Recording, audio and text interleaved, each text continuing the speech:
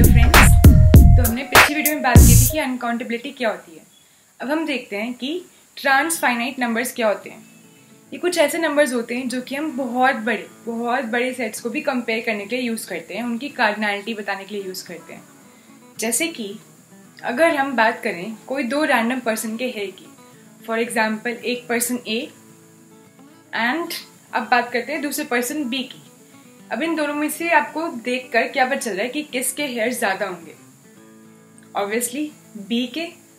पर आप गिन सकते हो क्या उन्हें ए के हेयर भी बहुत सारे हैं, आप गिन नहीं सकते, यानी कि इन्फिनाइट और बी के हेयर भी बहुत सारे हैं, यानी कि कितने?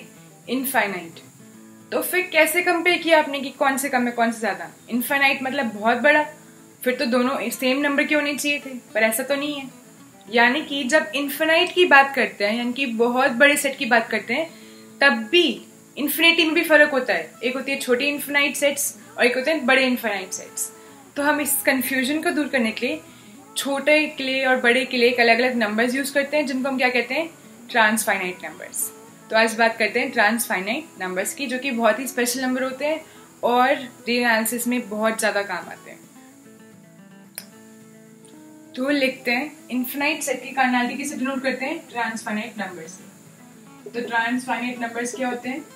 ट्रांसफाइनाइट नंबर्स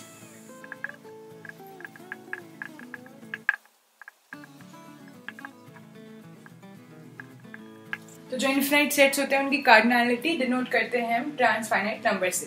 कुछ सिंबल्स होते हैं जिनका हमने नाम रख दिया ट्रांसफाइनाइट नंबर्स इनकी ट्रांसफाइनाइट बियॉन्ड फाइनाइट जो नंबर्स हैं। अब एग्जांपल लेते हैं।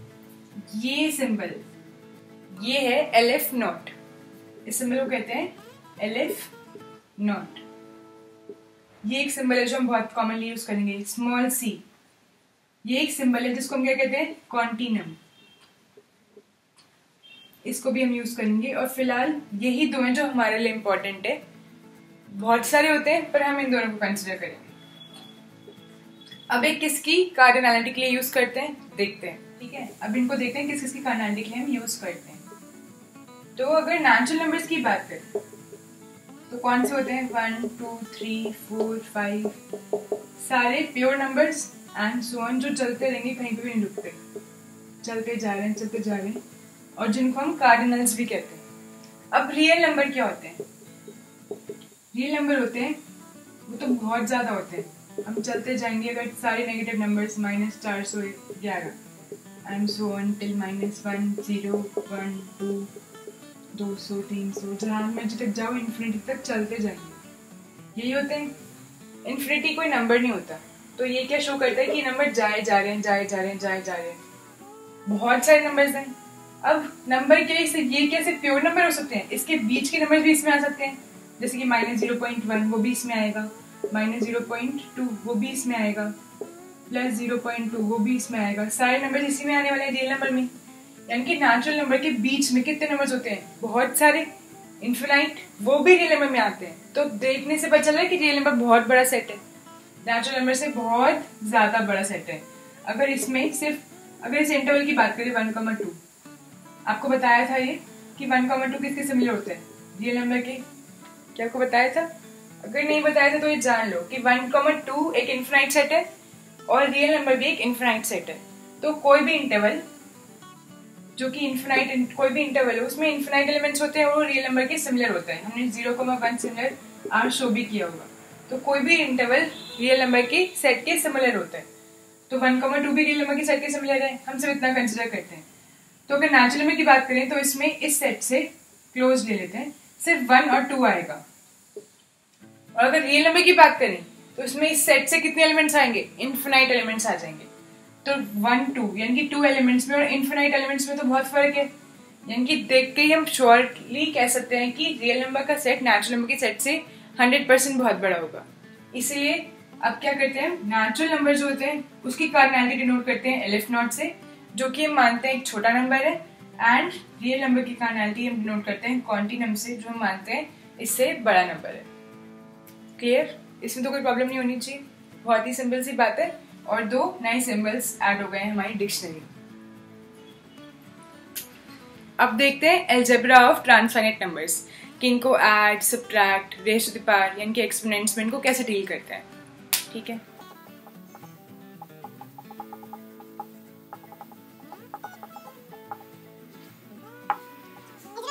एल्जेब्रा में मतलब ऐड सब्ट्रैक्ट एक्सपोनेंशियल में कैसे डील करेंगे? एल एफ़ नॉट और क्वांटिनम से।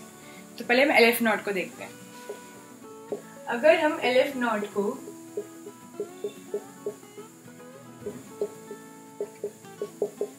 कोई एन टाइम्स ऐड कर दे, कितनी बार? डिफाइंड है एन टाइम्स कितनी बार ऐड कर दे? एन टाइम कोई नेचुरल नंबर टाइम ऐड कर दे तो क्या आता है? एल एफ़ नॉट ही आता है. कोई फ़र्क नहीं पड़ता एल एफ़ नॉट ही आता है. एल एफ़ नॉट एक ऐसा नंबर है कि अगर उसको हम एन टाइम्स ऐड कर दें तो एल एफ़ नॉट ही आ जाएगा. अब ये क्यों है? क्यों का कोई जवाब नहीं इन्फिनाइट सेट है। और हम एग्ज़ाम्पल लेंगे ना जब नेचुरल नंबर और इंटीजर्स आपको लगता होगा कि इंटीजर का सेट नेचुरल नंबर से बड़ा है। क्यों? क्योंकि नेचुरल नंबर में क्या आता है? वन टू थ्री और सिर्फ़ पॉजिटिव पार्ट पर इंटीजर्स में क्या आता है? इंटीजर्स में तो पॉजिटिव नेगेटिव और साथ में ज़ीरो भी आता है। Zero comma plus minus one plus minus two तो ये तो बहुत बड़ा होना चाहिए। पर हम इसमें एक बाइजेक्शन ड्रॉ कर सकते हैं। और बाइजेक्शन का मतलब क्या है? कि दोनों का साइज़ कैसा है? सेम है। यानी कि इधर के भी एल एफ़ नॉट और इधर का भी एल एफ़ नॉट जोड़ दो और साथ में ज़ीरो भी जोड़ दो। तो भी सेट का साइज़ एल एफ़ नॉट ही रहता है क्योंकि हम इसमें एक बाइजेक्शन ड्रॉ कर सकते हैं। तो ये कोई गलत बात नहीं है। बाइजेक्शन ड्रॉ करके हम इजिली प्रूव कर सकते हैं कि एल एफ़ नॉट को कितनी बार भी यूनियन करो, कितनी बार भी ऐड करो तो हमारे पास वापस एल एफ़ नॉट ही आ जाता है। अगर हम एलिफ नॉट में कोई नेचुरल नंबर ऐड कर दें तो एलिफ नॉट ही रहता है। उससे कोई फ़र्क नहीं पड़ता, किसी फाइनाइट नेचुरल नंबर को ऐड करने से कोई फ़र्क नहीं पड़ता। पर अगर हम एलिफ नॉट में क्वांटिनम ऐड कर दें तो फ़र्क पड़ता है। तो ये सेट क्या बन जाएगा? क्वांटिनम बन जाएगा। अगर हम एलिफ नॉट में क्वांटिनम ऐड कर दें तो ये क्या बन जाएगा? क्वांटिनम बन जाएगा, क्योंकि हम इन्फिनाइट नंबर ऐड कर रहे हैं। यहाँ पे एन क्या था? कोई नेचुरल नंबर था। पर यहाँ पे क्या ऐसी क्वांटिनम है जो कि बहुत बड़ा, इससे भी बड़ा सेट है। तो क्या बन जाएगा? क्वांटिनम ही बन जाएगा। अब अगर हम C को n टाइम्स ऐड करें। N टाइम्स ऐड करें C को such that n belongs to natural number तो क्या आएगा हमारे पास इसका आंसर वापस ही आ जाएगा। अगर हम n को c से मल्टीप्लाई कर दें, किसी नेचुरल नंबर को c से मल्टीप्लाई कर दो तो भी c आएगा। किसी नेचुरल नंबर को अगर हम एल एफ़ नॉट से मल्टीप्लाई कर दें तो एल एफ़ नॉट ही आएगा। यहाँ पे n belongs to natural number बहुत रैंडम सी जनरल सी प्रॉपर्टीज़ है, इनको आपको ध्यान में रखना है। उसके बाद ही आप फाइनाइट सेट इन्फिनाइट सेट्स को कंपेयर कर पाओगे। और इन्फिनाइट सेट्स का कंपैरिजन एक बहुत ही स्ट्रॉन्ग टॉपिक है। अभी आप क्वेश्चन देखोगे ना, आपको पता चल जाएगा। इसलिए अभी तक मैंने ज़्यादा क्वेश्चन नहीं कराई क्योंकि हर क्वेश्चन जो कि पिछले टॉपिक्स भी इन्वॉल्व कर रहे हैं, उसमें आपको ट्रांसफाइनेट नंबर की नॉलेज होनी चाहिए, क्योंकि वो ट्रांसफाइनेट सेट को भी इन्वॉल्व कर रहे हैं। बेशक वो वन वन ऑन टू या कार्डिनलिटी या कुछ भी हो। इसलिए इसको करते ही हम बहुत सारे क्वेश्चन करेंगे। सिंपल है, आगे देखते हैं। अब ये डिस्कस करते हैं। बहुत ईजी है, जल्दी से हो जाएगा। अगर हम सी को एन टाइम्स करेंगे एन को नेचुरल नंबर याद रखो अब ठीक है? सी को अगर एन टाइम्स मल्टीप्लाई करेंगे तो भी क्या आएगा? सी वापस आ जाएगा। एल एफ़ नॉट को सी से मल्टीप्लाई करेंगे तो क्या आएगा? बड़ा वाला नंबर आ जाएगा। टू रेस्ट पर एल एफ़ नॉट करें। तो क्या आता है? सी आता है। अब क्यों आया ऐसे टू रेस्ट पर कोई नंबर करने से क्या बनता है? ये किसकी कार्डिनलिटी बन जाती है? पावर सेट की। यानी कि अगर नेचुरल नंबर की कार्डिनलिटी एल एफ़ नॉट है तो हमें पता है कि power set of natural number की कार्डिनलिटी क्या होगी? टू रेस्ट पर जितनी नेचुरल नंबर की कार्डिनलिटी है, यानी कि टू रेस्ट पर एल एफ़ नॉट और हमने स्टार्टिंग में ही कैंटर्स थ्योरम पढ़ी थी, जो क्या कहती है कि किसी भी सेट से उसके पावर सेट पर कोई ऑन टू फ़ंक्शन एग्जिस्ट नहीं कर सकता। इसको मतलब पावर सेट हमेशा नेचुरल नंबर किसी भी सेट का पावर सेट उस सेट से बड़ा होता है। यानी कि power set of natural number भी नेचुरल नंबर से बड़ा होगा। यानी कि two raised naught natural number से कार्डिनलिटी किससे बड़ा होगा? और एक नोट है जो आपको रैंडमली याद रखना है कि एल एफ़ नॉट से बड़ा, जो बिल्कुल नेक्स्ट ट्रांसफाइनेट नंबर है, वो क्या है? सी इसके बाद और हो सकता है, पर इन दोनों के बीच में कोई नहीं है। जैसे वन के बाद टू आता है नेचुरल नंबर में, उसके बीच में कोई और नेचुरल नंबर नहीं होता। जैसे ट्रांसफाइनेट नंबर में एल नॉट के बाद सी आता है। तो अगर एल नॉट से बड़ा कोई नंबर मिले तो किसके बराबर है?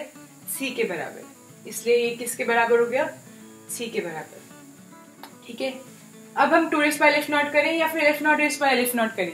तो हम देखेंगे कि इन दोनों में हम बाइजेक्शन ड्रॉ कर सकते हैं। एक बाइजेक्टिव मैप ढूंढ सकते हैं तो वो सी के इक्वल रहेगा। एलिफ नॉट रेस पर सी करें। पर अगर हम एलिफ नॉट को, ये तो क्या है? काउंटेबल चीज़ को काउंटेबल टाइम करें तो तो सी आएगा। पर अगर हम एलिफ नॉट को एकदम अनकाउंटेबल टाइम कर दें तो ये क्या हो जाएगा? टू रेस पर सी जो कि सी से भी बड़ा एक नंबर मिल गया। This is greater than C क्योंकि हमने अभी बताया कि पावर किसी भी नंबर के सपोज़ रियल नंबर की कार्डिनलिटी सी है तो power set of real number की कार्डिनलिटी क्या होगी टू रेस पर सी और हमें पता है कि किसी भी सेट से उसके पावर सेट पे ऑन टू फ़ंक्शन एग्जिस्ट नहीं करता। इसका मतलब टू रेस पर C is greater than C तो ये बात हमें यहाँ से पता चलती है। एल एफ़ नॉट सी से छोटा होता है हमें याद रखना है। और कोई भी natural number obviously aleph naught से छोटा होगा, क्योंकि एल एफ़ नॉट तो इन्फिनाइट नेचुरल नंबर्स हैं, उसकी कार्नालिटी को शो कर रहा है। और कोई भी डिफाइंड नेचुरल नंबर क्या होगा कोई भी फाइनाइट नंबर जो हम ले सकते हैं, दो लाख, दो crore any number but it will be defined और वहाँ पर जाके काउंटिंग रुक जाती है। पर ये एक बहुत ही ज़्यादा इनफिनाइट बहुत ही बड़े सेट को रिप्रेजेंट करता है। तो क्लियर है? तो आज हमने क्या पढ़ा? ट्रांसफाइनाइट नंबर और उसकी एल्जेब्रा यानी कि उसको ऐड कैसे करते हैं? उसमें एक्सपोनेंशियल में कैसे डील करते हैं?